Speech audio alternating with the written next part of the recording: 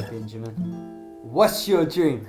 Um, my dream is to sell out Spark in the next three years. Yeah, it would be it would be real cool. If it doesn't happen, it doesn't happen. But at the same time, I'm like, well, at the way I've set myself up, like, I haven't accounted for anything like to do anything else. You know, it's like Yeah. I'm gonna do music. If not, I'll probably be, I'll probably be homeless. You know. But that's the only way, bro. Don't have a backup plan. Yeah. Yeah. But it'll be fine. It'll be all good. I hope.